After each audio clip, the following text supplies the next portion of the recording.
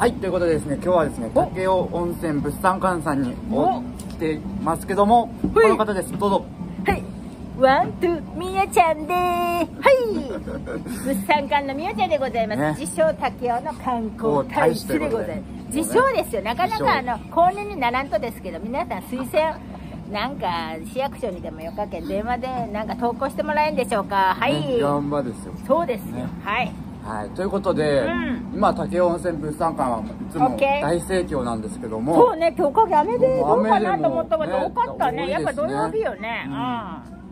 えーっとですね、うん。そのパンももさっき食べたんですけど美味しかったんですけど。美味しかったら種類がめっちゃ,、はいゃ増えてすごく増えたよ、うん。増えとる私も実は今あのお昼必ずパン、うんまあおかげそれでお手軽やろがお手軽ですね。価格だけんね、うん。必ずねちょっとあのデザート代わりに食べますよ、うん、うんうんあとは、えースイーツもねそう。充実してて。そう。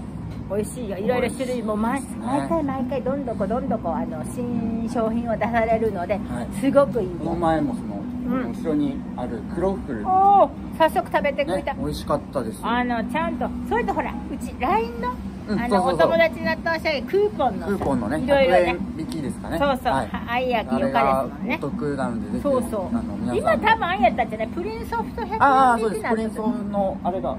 横のねテイすごくクアウトコーナーさんで。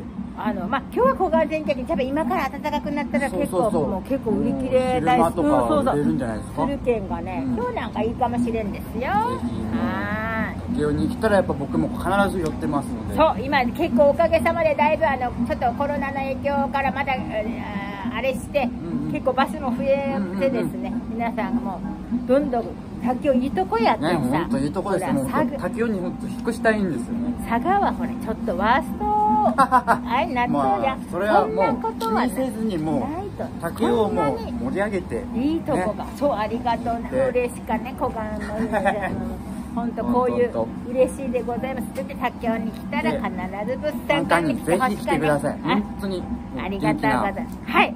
ぜひお声かけ、みみおちゃんもいます。みおちゃんもいますので、ぜひ来てくださいね。はい。ということではい。またえっとまたよろしくお願いします。よろしくお願いします。よろしく、チャンネル登録、よろしくお願いします。はーい。オッケー、ありがとう。